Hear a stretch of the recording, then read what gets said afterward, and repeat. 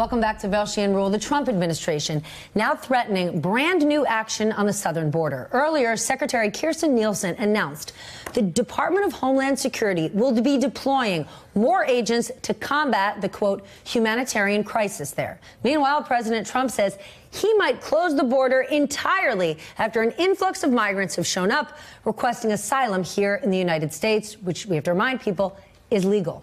Mm-hmm. They're asylum seekers. Last month, there were more than 100,000 apprehensions and encounters with migrants on the border. That's according to U.S. Customs and Border Protection. And now the president wants to cut off aid to Central America. This is aid typically designed to restore law and order and economic opportunity in countries that are overrun by violence and corruption, which is why a lot of people want to leave them. Here's what his acting chief of staff had to say in defense of that.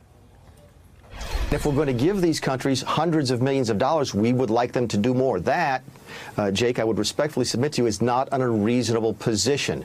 Um, we could prevent a lot of what's happening on the southern border by preventing people from moving into Mexico in the first place. Right, but that's uh, what that's the USAID what, money does. Is it, it is it makes those countries more stable. This is not according to me. This is no, according no, to experts in your own administration. Right, okay, uh, career staffers, but let's talk about let's talk about that for a second. If it's working so well, why are the people still coming? But USAID has worked toward making improvements in the Northern Triangle, and the Trump administration's own State Department has the numbers to prove it. The move to end foreign assistance programs for Honduras, El Salvador, and Guatemala would affect nearly $500 million in 2018 funds and millions more left from the prior fiscal year. The aid's mission is to, quote, provide investment and partnership from the United States to promote economic opportunity and security for citizens of the region, i.e., make it safer and better so they want to stay and thrive in those countries. The president wants to slash that aid so that the Central American governments will stop the mass migration of refugees. But many critics say that aid actually deters migration and it will help conditions at the border. Even President Trump's own former chief of staff, John Kelly, said it himself. If we can improve the condition, the lot in life of Hondurans, Guatemalans, Central Americans, we can do an awful lot to protect the southwest border. One government report conducted in 2018 suggests that violence in the Northern Triangle was actually beginning to show signs of improvement, particularly in El Salvador and Honduras, which both observed dramatic declines in national homicide rates during 2017. That fiscal year saw a total aid package of $655 million. The impact of that investment in agriculture and in Honduras alone helped lift 680,000 people out of extreme poverty during that same year. Funds sent to Guatemala boosted agricultural programming as well, which helped increase rural farmer sales by more than 50%. You know how many jobs it created? 20,000. Now let's go to El Salvador. 40% of aid focused on citizen security and rule of law.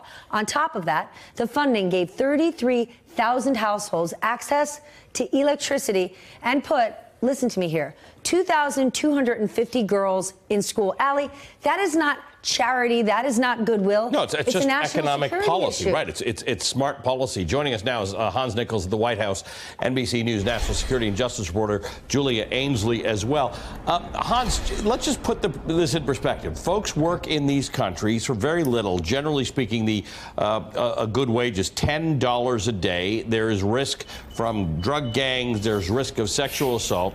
They end up coming to America where they can work as agricultural workers for 100 or $150 a day.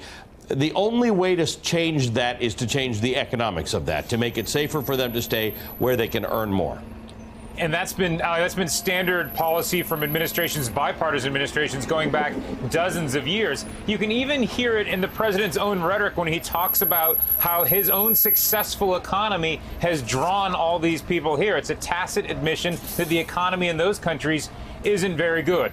I think what's clear today, we're what, midday on Monday, is it's clear that President Donald Trump wants the focus this week to be on the border. He'll be visiting later this week. What isn't clear is whether or not he is serious about shutting it down, about sealing the border, whether or not he's bluffing like he has in the past, or whether or not he's actually planning for it. And you can make a case on both sides of the letter, ledger. On the planning side, Patrick Shanahan, the acting defense uh, secretary, was asked about it earlier today. He said, well, not yet. Not yet are U.S. troops down there sealing the border, but he added, but he hasn't spoken to Kirstjen Nielsen yet, and he, he plans to later in the day.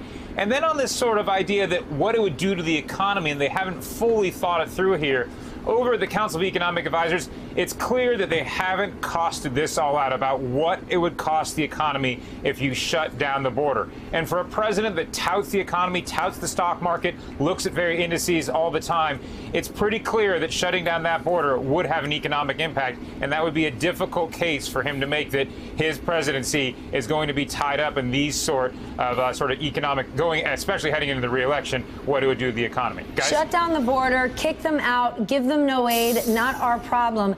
Those are things we hear the president say on the podium at rallies all the time. But Julia, take us local. You have spent a ton of time on the border. When I was there, I actually spoke to the mayor of McAllen, Texas, about, let's call it the immigrant crisis. And here's what he said.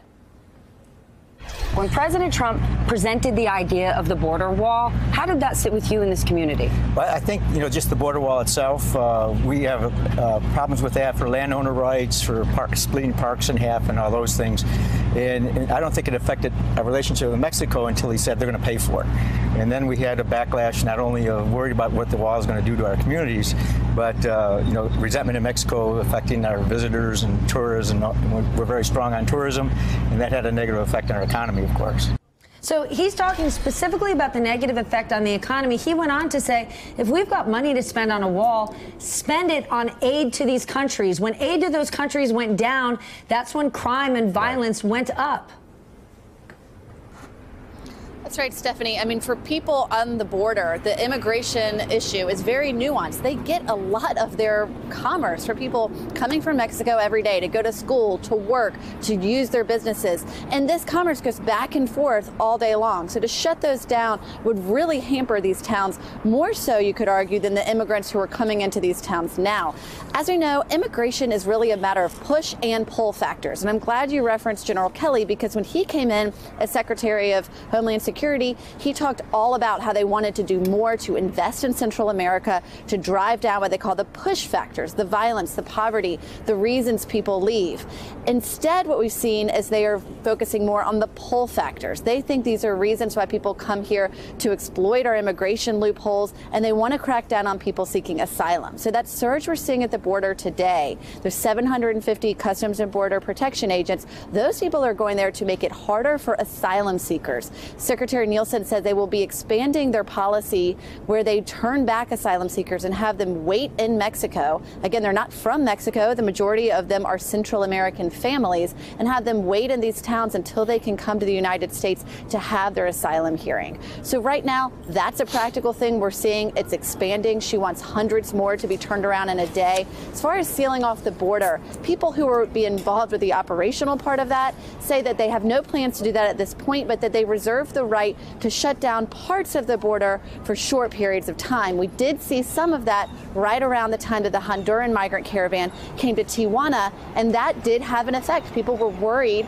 about being able to do business. All right, Hans, um, we know that the aid can help those uh, Central American co uh, countries in the way that we've laid out. There is an argument that aid gets funneled to corrupt leaders uh, or legitimizes gangs and that we keep giving money and things don't get better? Look, there's no consensus in the development community on how you alleviate poverty in the developing world. That's why we've been at it for, for some time. Just a few blocks down from here, there's the World Bank. They spent a lot of time and effort on trying to having some sort of projects and some sort of programs to build and lift these economies up. Well, the consensus has been, at least under uh, Republican administrations, is you need to do more trade. You need to have more commerce, and that's the way to really ensure that these economies are sustainable and vibrant.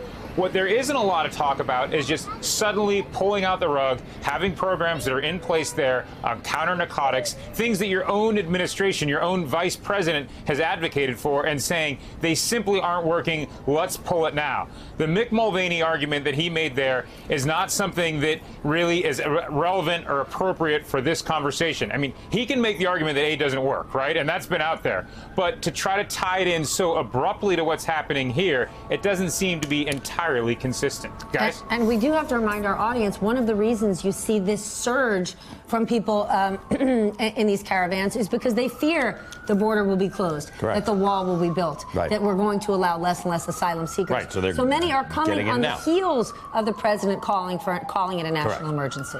Hey, MSNBC fans, thanks for checking out our YouTube channel. Subscribe by clicking on that button down there and click on any of the videos here to watch the latest interviews and highlights. You can get more MSNBC for free every day with our newsletters. Just visit msnbc.com slash newsletters to sign up now.